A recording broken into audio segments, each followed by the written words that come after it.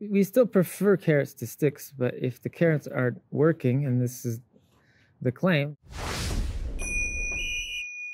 it's a sad day. But I stay hopeful. But I will give a roundup update on how things are going specifically with regards to the different levels, meaning researchers, journals, universities, and funding agencies, and publishers.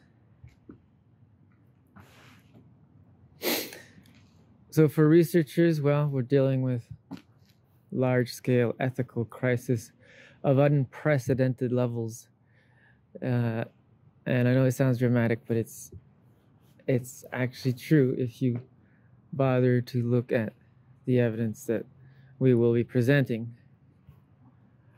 Uh, main one being the Nosek, Brian Nosek scandal, which is involves him being opaque about his personal speaking fees. And then when confronted publicly on Twitter, he then quasi lies about his personal fees and his not being transparent about them. And so that, and then most people on Twitter reacted in an unbothered way or very upset at me for attacking him. So this is important not just for the fact that a transparency champion could be violating the ethical code of conduct with respect to transparency, but it's also a question of accountability to taxpayer because Nosek has received over $20 million in grant funding from the U.S. public funding agency.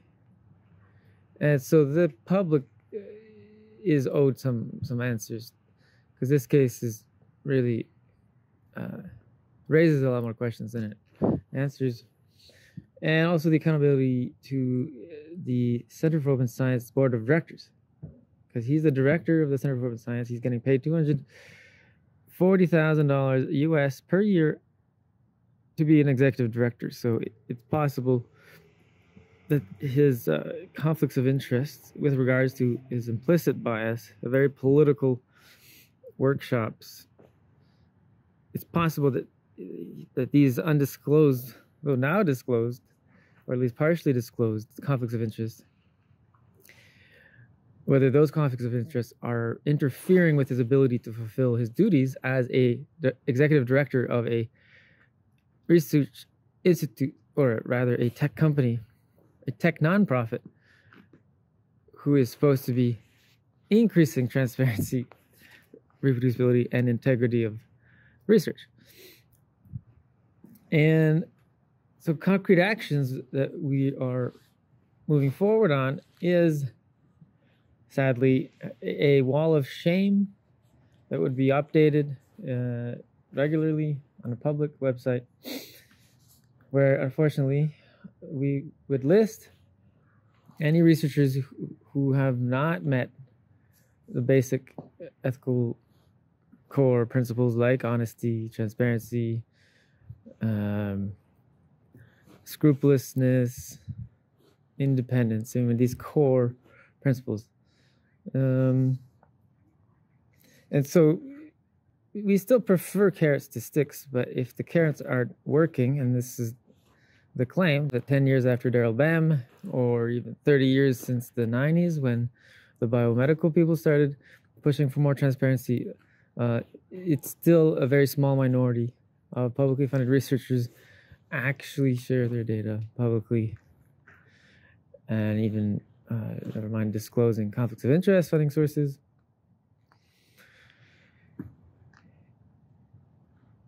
And so the wall of shame would act as a way to enforce the ethical code of conduct because it's like the law. If no one enforces the law then it defeats the purpose of having the law or the law is not being effective so the same here. We have ethical codes of conduct in academia in, in universities, but no one enforces them, so therefore people can continue to be unethical, which is the case. The majority of researchers admit we even have empirical evidence across seven fields now um, that they do use steroids, academic enhancement techniques to get results that are more publishable. So, uh, so it's it's right there. I mean, it, it makes sense for academics to use steroids, just like Tour de France. If you don't take the steroids, you don't stand a chance of competing. It's exactly the same problem, and that's why we need uh, to reform the standards at all levels, at funders, at the university level, at the journal level, and at the researcher level, where we're a lot more strict and we have a wall of shame if you cross the line. You get warnings. I mean, we still have due process, so that's good to clarify. You're pro- you're, you're assumed innocent until proven guilty. You could be giving warnings, and then there's an investigation. You can appeal, and so on. I mean, but there has to be some kind of enforcement.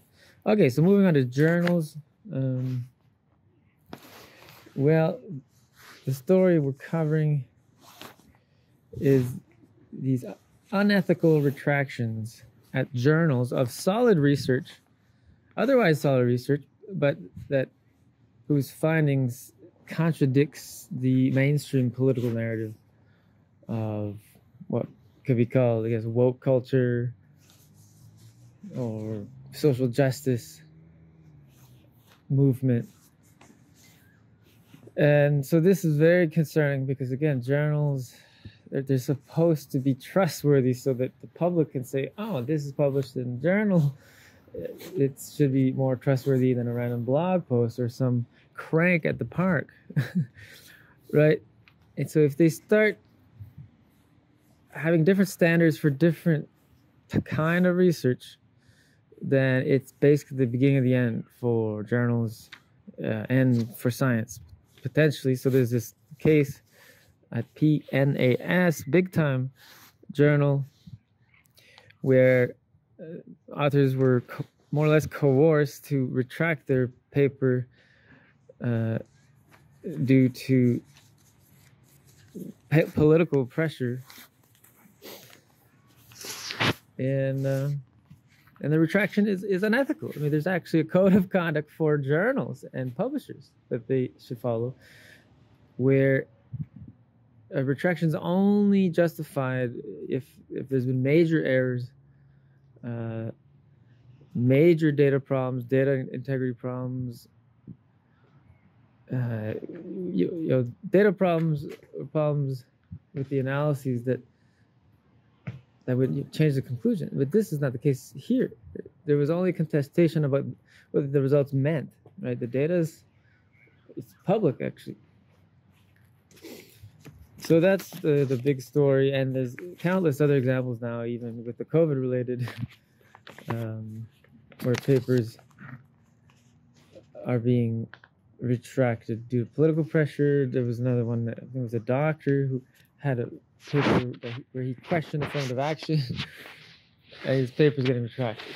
So this is uh, the solution is enforce the publication ethics standards. That's another entire ballgame. I looked into the COPE ethical body, which is the Committee uh, of Publication Ethics or something, and they themselves are questionable. That's essentially another story.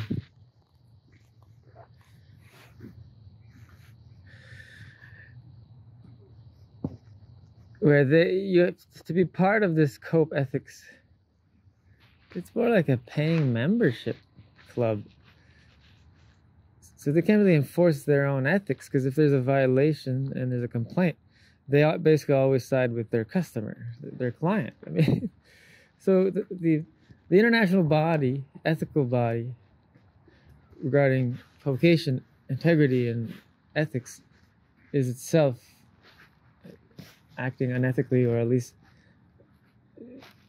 having a conflicted state. And uh, so, next steps, concrete actions is also a wall of shame for journals. And again, we we also will have a leaderboard, transparency leaderboard. So get out the carrots. We we already um, have dedicated some of the trans- transparency standard uh, names to the leading journals like Metapsychology and One. But there has to be a wall of shame where um, journals who don't require a minimum transparency standard, they'll be on the wall of shame so, so that you, you cannot trust their papers. Right? Because transparency is a minimum. Like, so, of course, a transparent paper could still be unreliable, like if you don't check. But something that's not transparent can't even be checked.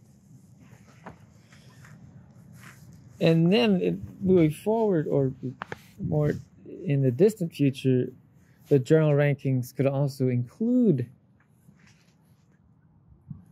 uh, credibility rankings, where we try to assess uh, the extent to which transparent findings withstand scrutiny, the different kinds of scrutiny like critical commentaries, reproducibility reanalyses, robustness reanalyses, and then replications, right?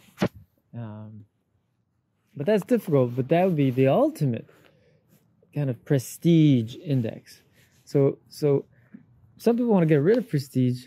Of course, we should get rid of prestige based on impact factor um, that's very silly. But, but we can replace it with the ultimate prestige in science is actually discovering something that withstands the most ruthless scrutiny by the most number of people, right? So if we can capture that in a, a, a nuanced index, then that'd be very useful.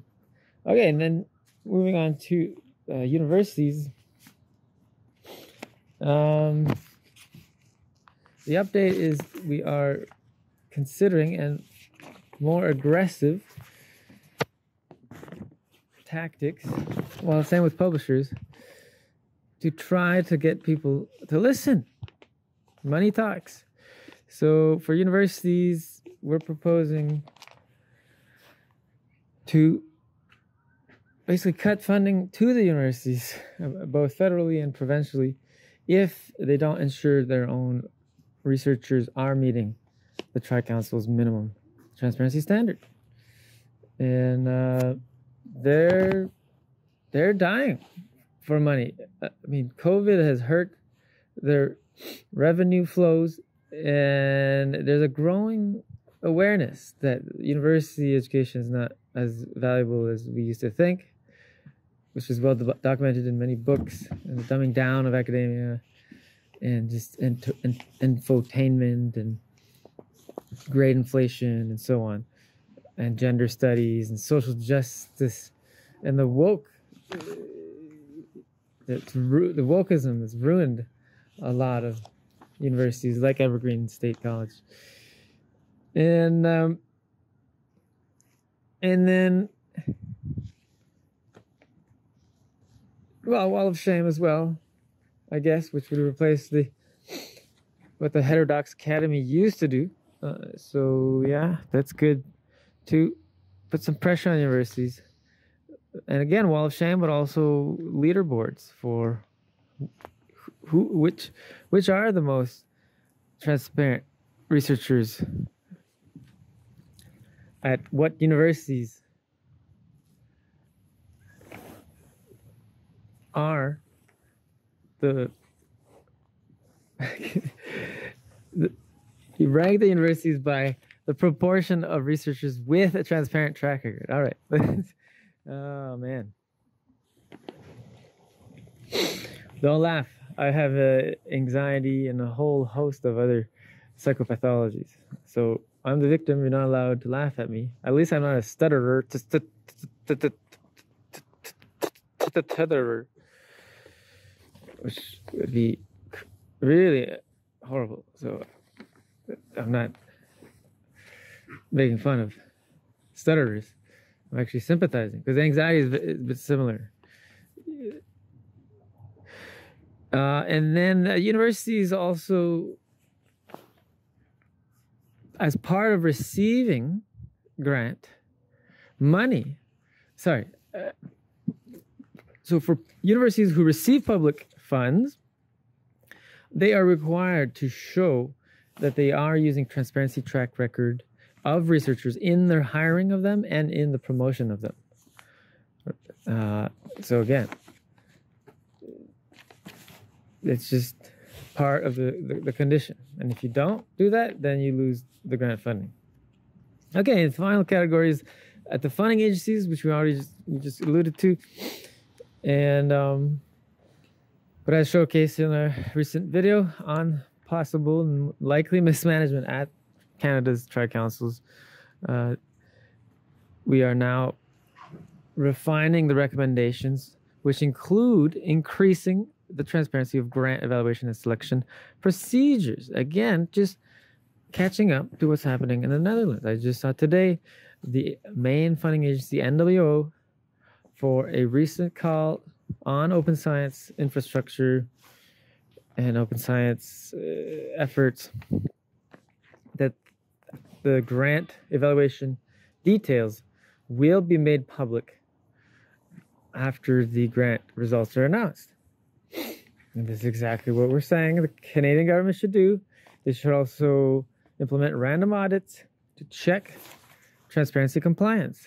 So again, if we're doing it for tax, we have tax audits to keep the everyday, uh, very, the everyday small person who doesn't even make a lot of money.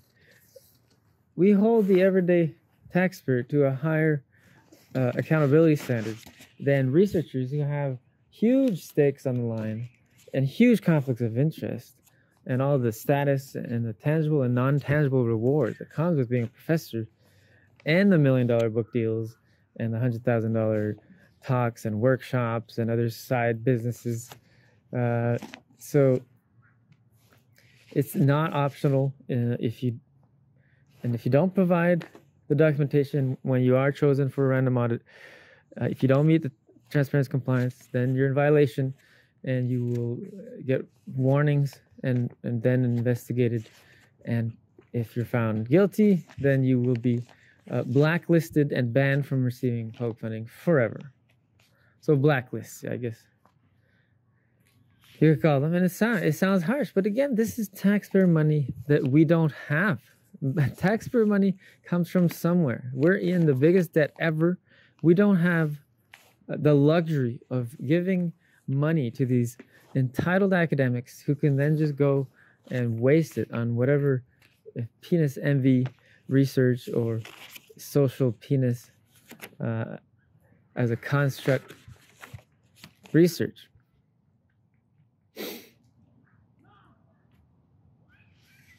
And finally, a wall of shame for non compliant researchers uh, who would be blacklisted or are in, in violation. That feeds into the other recommendation of any fraud investigation information should also be made public, easily accessible at the university's homepage in the footer and convicted and cleared. Okay, so that's the update and concrete actions. Next steps we're taking. As you can see, we've got ginormous tasks ahead of us, huge forest fires to put out it's kind of like a multi-level, multi-layered forest fire. But it's it's contained, it's not spreading, it's contained and it's there's there's glimmers of hope. And and so we continue. it's important that you, the taxpayer, engage with the videos to increase their visibility. So please like or dislike videos, leave a comment regarding points of clarifications or other issues or topics you'd like us to cover. Leave comments pointing out any inaccuracies, mischaracterizations, errors. Finally, please consider making a donation so we can continue to create videos and achieve our goals of reforming research standards in academia. You can make a donation on our Patreon page, linked to my left, or by making a one time PayPal donation, link in the video description. Thank you.